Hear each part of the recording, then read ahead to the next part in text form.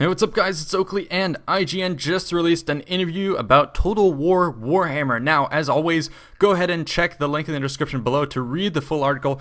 In this video, I'll just be going over the highlighted portions that I took out from the interview. To be honest, though, I did sort of cut most from the interview because it's not that long. Um, but, uh, you know, as always, I'm just here to relay it onto you and give you my impression. So for the full thing, uncut, go ahead and check the link below.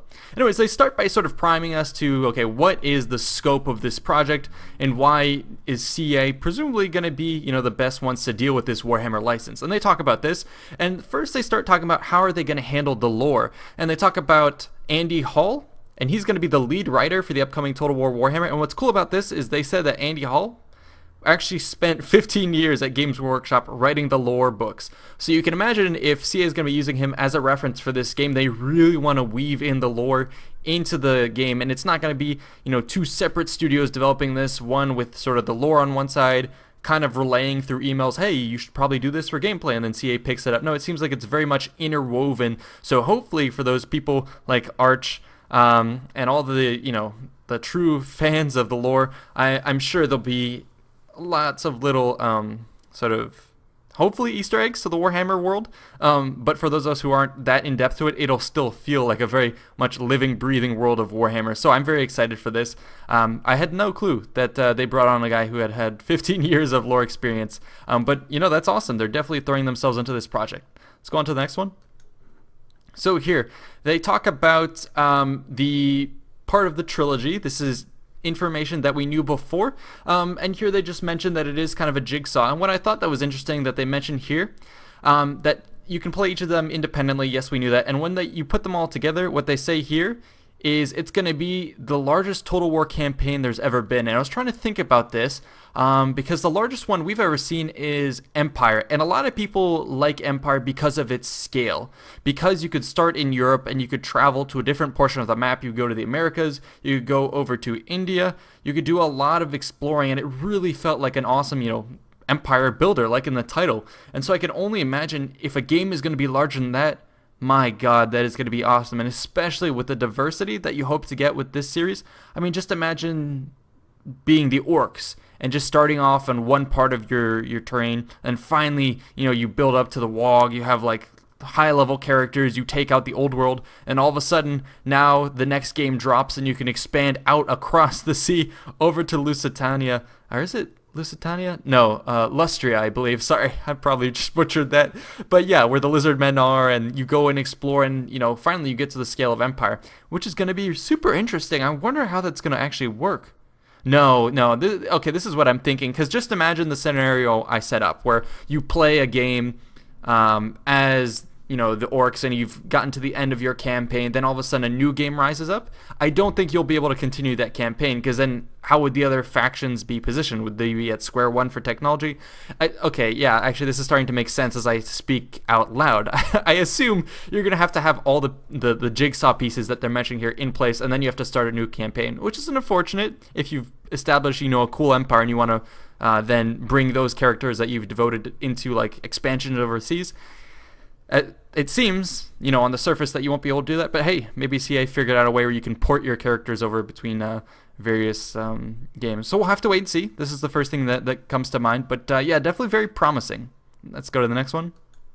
So here, now they start talking about um, why this Total War, you know, trilogy is going to be so expansive, and why, despite it being only four playable main um, races at the beginning, why that means so much more. And they say because each faction has its own wildly different diversity. And they say, for instance, here the Empire is going to be the most traditional one. For instance, they collect taxes and they have the organization that we would expect. So Karl Franz. And in here, they're going to list the different factions, and they're basically going to say what is sort of one of the main driving factors for them. So for here, they say sort of the, the goal of Karl Franz is to unify the empire, and that's something we've seen mentioned in trailers, in the pre-battle speeches. So I assume each uh, race is going to have sort of a narrative, and um, each of your characters, your legendary lords in particular, will go ahead and progress that story. So for the Empire, as your Karl Franz, you're going to want to unify, um, you know, the various different principalities of the Empire and the Elector counts and bring them to your side.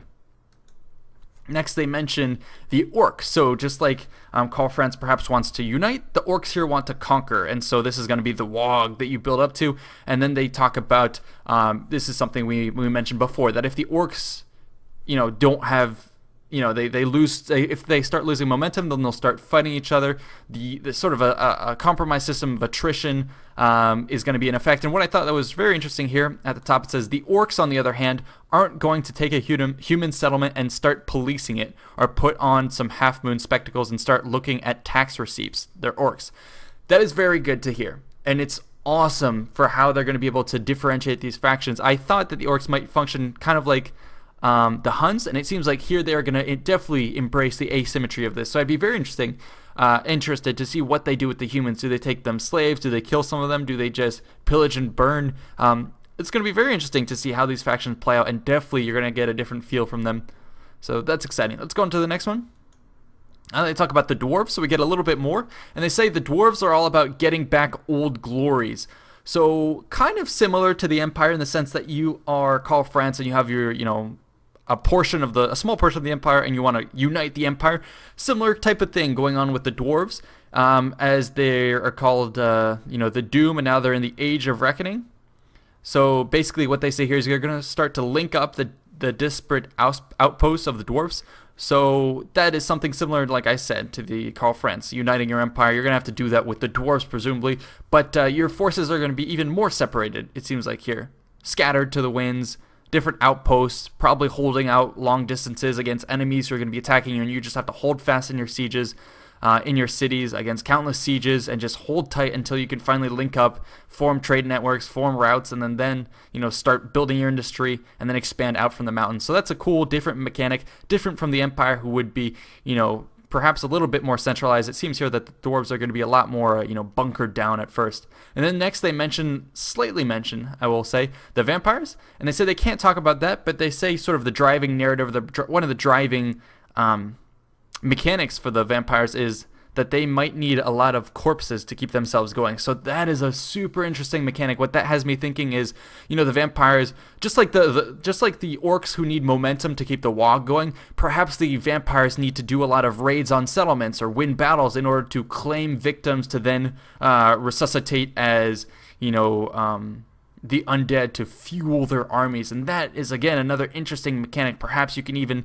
deal in terms of slavery, uh, import in prisoners, and then convert them to your own purposes. So that, that, that is another very cool mechanic that. Uh, man, I can't wait to see this, and I hope CA doesn't screw up some of these mechanics. But man, they look promising.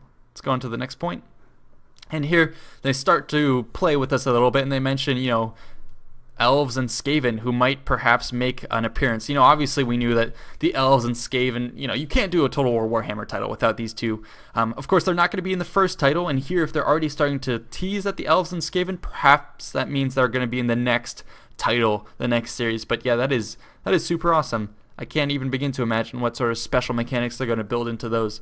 Um, perhaps the Skaven tied to collecting warpstone to upgrade your technology, or perhaps expanding um, and undermining other nations with your your tunnel systems. A lot of cool stuff um, potential in that. Let's go to the next one. Uh, here, so this is um, they're continuing on with the explanation of the the the change in scope and scale of this title. And here's what they're saying: they're going to be completely revamping the political system.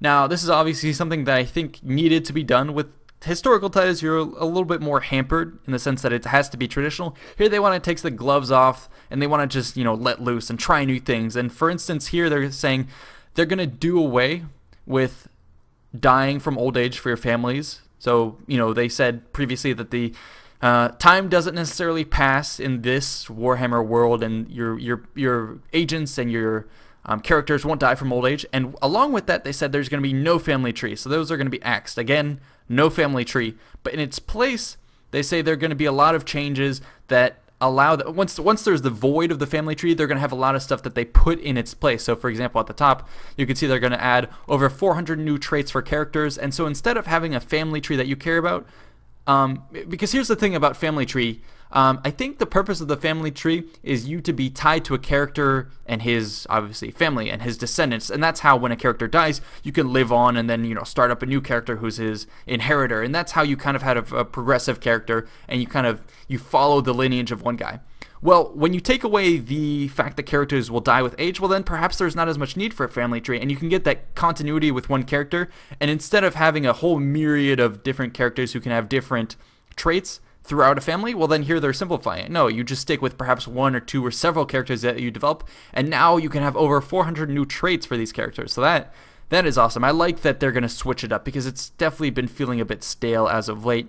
Um, and hopefully, once they you know nail these character mechanics, and this is the, this is the cool thing that I'll mention for them doing history on one side and fantasy on the other the fantasy realm allows them to try these new things in terms of different political systems. And perhaps if they strike gold in some sort of mechanic in the fantasy world, they can then transfer that over to the next historical title. Whereas in the past, they were sort of tied and chained to the historical um, the rigors of the historical world, and they couldn't so much shake it up and try new things and you know see what hits and misses. So that's why it's been a little bit stale in the past. So this has me excited for two reasons. Uh, one, it'll be awesome for the fantasy title, but also it has the the potential to help out the historical title. So that's always a good thing to keep in mind. Next one. Um, yeah, here this is to carry on about the the level of customization. They say here they, they put a, a finite number. You can get 30 levels of skill trees and deeper customization. Again, this is something that is awesome that I really love to role play with your characters. It's something that's been missing in later Total War titles, especially with Rome 2 with the with the years blowing by so quickly. It just really didn't feel like you get attached to your characters. Whereas here, oh man, you get to roleplay, and with characters who some of them can't die, it is going to be awesome to live out your campaigns. Not only the story of your empire, but the story of your leaders. So that is that's uh, a godsend to see it goes all the way up to 30 levels. You're no longer tied to you know five or 10 levels. That's really cool. And uh, yeah, that's going to be it for this article. I'm sure there'll be more um, to come. As they said a little earlier, they said they, they teased about the changes to the political system that we're going to hear from them pretty soon. So yeah, keep an eye out for that, and I definitely will relay that on to you. Hope you guys enjoyed, and uh, of course, stay tuned for more. I will see you in the next one. Peace out.